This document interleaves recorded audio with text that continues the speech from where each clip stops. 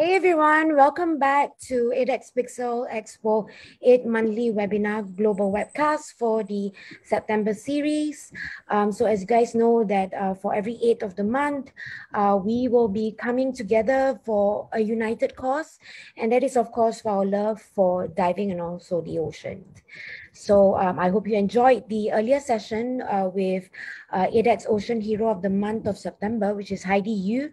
And of course, all her sharing with regards to ghost nets in Hong Kong and her fantastic eco-friendly and sustainable plan and initiative for uh, Deep uh, Hong Kong.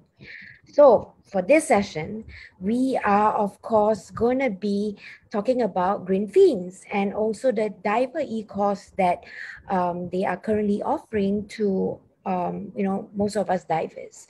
Um, so um, let me, before I go about introducing Sam Craven, which is the um, speaker for today, uh, I would also like to invite everyone who's tuning in to comment and or leave all your questions on the current uh, live FB post. And, uh, you know, Sam will be most happy to reply them then. So, and also oh, do not forget to like, comment, and also share this post uh, to, to have the opportunity to win collector's edition of your favorite Asian diver or scuba diver Australasia and Ocean Planet Diving Magazine for free. So like, share, and comment. So back to Sam. I, I guess everybody know who Sam is. Uh, Sam is the programs manager for the Reef World Foundation. Sam is a marine biologist and who turned conservationist who has been diving for 20 years. So Sam has been working with um, the Reef World Foundation since 2012. And she has been focusing on Green Fins uh, program and also bringing practical tools to governments, uh, marine tourism businesses, and communities around the world. Sam believed that we can all play our part to safeguard uh, fragile coral reefs. Um, and also we, with the right knowledge and also tools and skills, uh, you know, with this current uh, Green Fins Diver e-course, uh, we are hopeful that we can, um, you know, uh, establish what is it that we want to, uh, you know, do, which is to, what I call this, prevent good safe measures uh, with regards to our marine conservation. So we have here Sam, and it's been a while since I last saw you. It has. Hi, Nora. it's nice to see you. And hopefully we'll be able to see you know one another in the next ADEX show. I so, hope so. We miss it. we miss you too very much. so uh, without any further ado, I'd like to pass over the session to you. Okay. Let me, I'll just share my screen. Can you see that, Nora? Is that okay? Yes, it looks perfect. Great. Well, good afternoon, everyone. Thank you very much for tuning in, especially if you're taking your lunchtime to come and watch with us. I'm here to talk to you today about the newly released Greenfins Diver course, which is an online course designed to help recreational divers like you and me protect coral reefs. So just a little bit of background. Nora gave a great introduction. Thank you, Nora. Um, and as she said, I'm the programs manager for the Reef World Foundation, and we're a UK charity that focuses on marine conservation, delivering practical solutions for our main stakeholders. And this is all in an effort to protect marine environments for the benefit of those who are using them, those who visit them, and for our future generations as well. As Nora said, I've been diving since 2001 and been working with Reef World since 2012. And combining diving and marine conservation has always been a huge passion of mine. And this Greenfins Diver project has definitely been a project passion project for our team as well. So really excited to share this with you guys. Just as a reminder, in case you're not so familiar with Greenfins, it's a joint initiative between the UN Environment Programme and the charity that I work for, the Reef World Foundation. And it aims at making sustainable diving the norm. So we want to make sure that the best practices that are found through the Greenfins Code of Conduct or the environmentally friendly guidelines are really just the habit for everybody out there, which means that our dive sites and our coral reefs will be better protected. So we've really focused on delivering the education and tools required to address some of the needs or the conservation needs of biologically important coral reef sites, which also happen to be very often our dive sites as well. And that's even more important as the, we're understanding more and more the impacts of climate change on coral reefs and how they're really affecting them. Now, we're not here to say that the diving industry is the major threat to coral reefs when it comes to the impacts of climate change or, um, you know, it's not on the same scale, but we do have an impact. And therefore, we do have a responsibility to make sure that we're removing that impact and giving the reefs the best fighting chance they have, because they've got some severe temperature issues coming up in the next decade or so. In a few years ago, around 2016, we did a study where we observed over 100 divers from 44 different operators and found that 88% of divers contacted the reef at least once while diving, and 36% of us were unaware or didn't react, didn't show any recognition that we did so.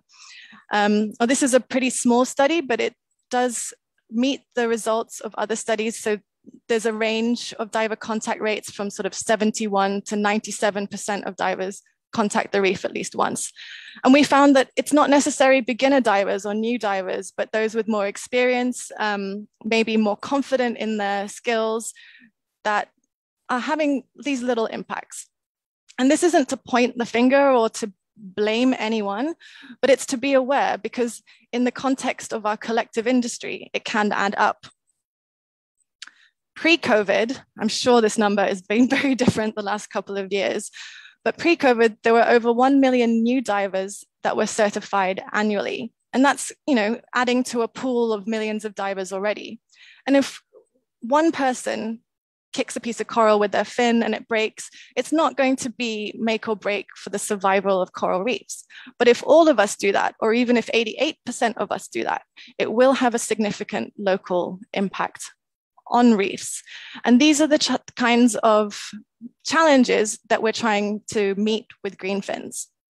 So typically, um, since 2004, Greenfins has been equipping dive and snorkel operators to sort of teach their guests, teach their staff these lessons, these the messages and tools and tips for how to run the daily operations of a dive center better. Um, but of course, the demand for this information is far greater than the 11 countries where Greenfins is currently active. So here at Reef World, we've been looking at ways at increasing that reach, um, meeting that demand from the industry for the lessons that Greenfins has.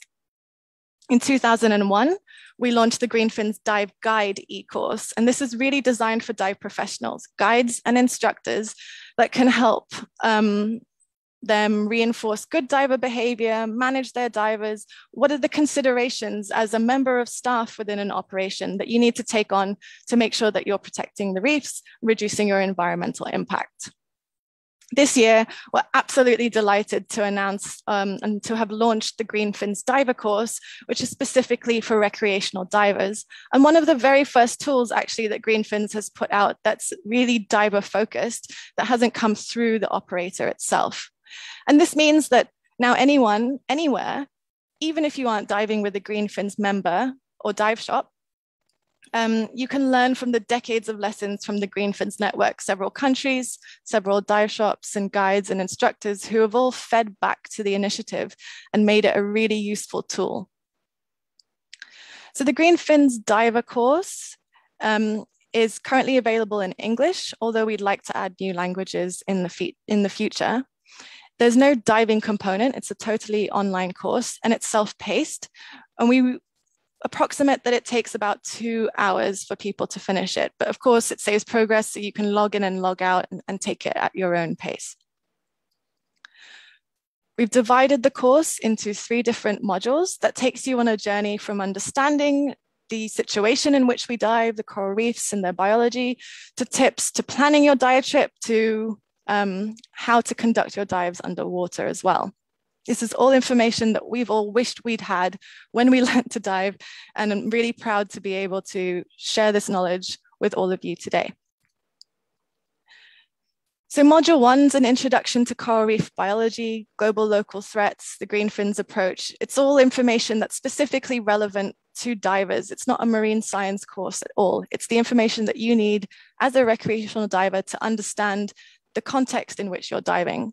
It also helps you understand how reefs are threatened and why, and how you can use green fins to help that. Module two is everything that you need to know above the water in terms of running environmentally friendly dive trips, whether that's finding out what environmental certifications your potential dive shop might have. Greenfins is one example, but there are others out there that we outline. Um, what questions to ask a dive center when booking to see if they are environmentally minded and if they are really, you know, taking the steps that's needed to um, put environmental practices into place. And of course, like how you can reduce your dive impact from even before you leave the house, what to pack, what to bring with you so that you're prepared and you're not having as much environmental impact when you, you go on holiday. And then in module three, we dive in and learn the more environmentally ways to actually conduct the dive itself. So tips and tricks on buoyancy and how to think about that, um, environmentally friendly ways to interact with marine, marine life or have um, underwater photographers and videographers. There's tips for them there too. So we're really trying to show what are the considerations to take, what is the what are the thought process and what are the actions that you as a recreational diver can take to make sure that you're not damaging the dive site that you're diving on, especially when it comes to coral reefs. Module three also takes a little step further. Um, as a recreational diver, you're the consumer in the dive business or the diving industry. So, as a customer, as a consumer, how can you use that position to create um, really constructive conversations with the operators about their environmental practice. So if you saw something that you didn't like, it's a bit of guidance about how to structure that conversation with the manager or the decision maker in the dive shop to try and make a real difference. Now, the course is totally online, but we've really tried to design it to be as interactive and interesting as possible with tips and exercises, definitions, fun facts, um, it's really the course that we wished that we'd had and it's i just i found it a lot of fun and i hope that you guys do too. Um, we've always prided ourselves in making sure that greenfins meets the needs of the, the people that are using it as a tool. And so the posters the materials the courses everything that greenfins does has been improved with feedback from the people that are using them. So we're really looking forward to hearing any feedback from you guys if you do end up taking the course. At the end of each module, there's a short multiple choice quest um, test not a quest. We're not that mean, and it's multiple choice because we're trying to be kind. And this is definitely not um, us trying to test your knowledge. It's more of a tool for you to apply the knowledge that you've learned during the courses, help you absorb them, and apply those lessons in a real life context as well. So if you pass all three modules and you can retake it, um, as many times as you need to, you'll receive a personalized certificate with your name, Greenfins Diver course, UN logo, and all of that. The certification is valid for two years because just like refreshing safety skills, we think it's of equal importance to refresh your environmental knowledge. We at Reef World are also going to make sure that the course is updated regularly with any of the latest best practice or news or new tips or tools that the network has shared with us. So each time you refresh your knowledge, you'll be getting the most up-to-date information. The other thing about um, doing this course is that if you're taking the actions and the tips and the tools from it and and bringing them into each dive in the future, you're really doing your part to contribute to one of our global goals, the Sustainable Development Goals, in particular, Goal 14, which is to protect life below water. So we hope that this is a great roadmap and tool for divers to be able to feel like they're really contributing towards the betterment of our dive sites and the diving industry's future as well. So we're very proud of the course. I'm sure that you've picked that up from me. Um, and we've launched it in July, and we're really delighted to have gotten such positive feedback from people that have taken it, whether that be open water divers who um, hadn't had access to information like that before, or instructors who found it really useful to supplement their courses. Um, yeah, we've had some really great feedback. So we really look forward to hearing how you all use this tool and what, what feedback you have for us as well. So the course itself costs 25 US dollars. Um, and so for less than the cost of most single dives around the world, you've got decades of knowledge and tips and tools and really practical information to help protect coral reefs. 100% of the proceeds go towards either supporting the course, running the course itself, or to Reefworld's grassroots, grassroots work with Greenfins to protect um, priority sites around the world. Now, of course, we recognize that it is a pandemic and people are struggling in all sorts of ways. And even before the pandemic, this cost might have been prohibitive for some people. So we also have a scholarship route, which you can find on the Greenfins website for anyone that can't afford to take the course. We don't want that to be the, the barrier that you have to this knowledge. So that's it from me. Very short and sweet, just a quick introduction to the Greenfins Diver. I hope you guys are interested and take the course. And like I said, we would love to hear your feedback. So visit greenfins.net slash greenfinsdiver or find us on our social media. We'd love to hear from you. So thank you for listening to my talk and I'll wait for Nora. Thank you so much, Sam, uh, for taking your time to reintroduce no, not reintroduce, to actually introduce this um, new uh, certification under Greenfin, and uh, it is definitely something that um, it should be implemented to all divers, definitely. Um, also, Sam, uh, I just yes. have one question, uh, which is from the audience, I think. Uh, they was they were asking is, um, I mean, like, is it applicable to everywhere any dive centers or do they need to connect to you directly only? So people can access the course directly from the Greenfins website. Um, so you can access and pay for the course through there. You don't need to go through a dive shop. So if you visit greenfins.net and go to the learn menu, they'll have direct access to the course there. Okay, thank you so much, Sam, for clearing that up. Um, also, um, everyone, please do stay tuned to the next session which is happening shortly, and that is with uh, Alexei where he will take us into the journey to world records and also in free diving. So happening at 1.30 p.m. So once again, Sam, thank you for your time. I hope uh, also all is well and safe with the team in Greenfins and um, you know, with Chloe and also JJ. I hope they're both well. And please do send our regards to them. I will. And, and also the rest of uh, the teams over in Greenfins as well. Likewise um, to the Underwater 360 team. We look forward to seeing you guys again. Yes, hopefully next year where things gets better. Hopefully. All right. All right. Thank you so much, Thank Nora. So much. See you again. Bye. Bye.